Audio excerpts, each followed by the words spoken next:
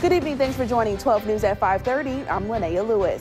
A woman is dead after a two-car crash on the Natchez Trace in Madison County. The crash happened around 6 o'clock this morning. A driver heading south crossed into the northbound lane, causing a head-on crash. One woman died. The other driver was transported to the hospital. The accident closed the Natchez Trace from I-55 north to US 49 for well over an hour.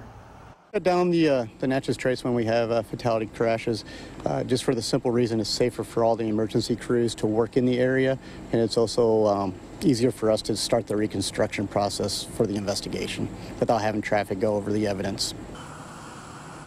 The accident is still under investigation at this time, and the identity of the victim is unknown.